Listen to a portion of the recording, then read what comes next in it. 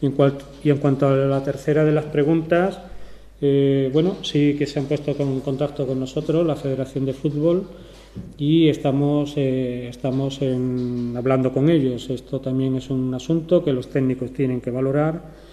Eh, ahora mismo la situación es la que todos conocen. Estamos en un riesgo muy alto todavía de incidencias. Sí que es verdad que ha mejorado con respecto a la semana pasada, pero también he dado el dato de los que ayer fueron todavía positivos y 16 sigue siendo un número muy elevado de personas eh, contagiadas.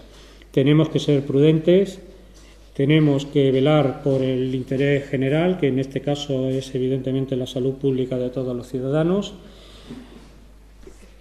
Hemos, y así lo ha considerado el presidente, de no hacer un decreto de alarma largo, se ha hecho el más corto posible que permite el estado de alarma y, son siete días.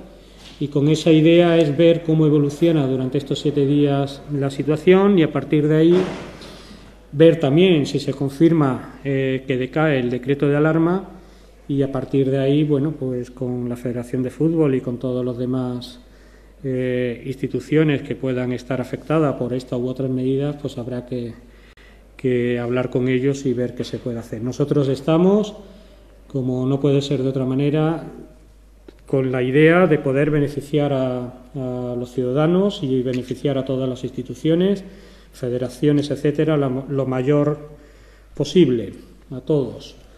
Pero la situación sanitaria hay que ser muy todavía muy prudente, ir, si me permiten la palabra, desescalando, que ojalá sea esa, que vayamos desescalando con prudencia y poco a poco.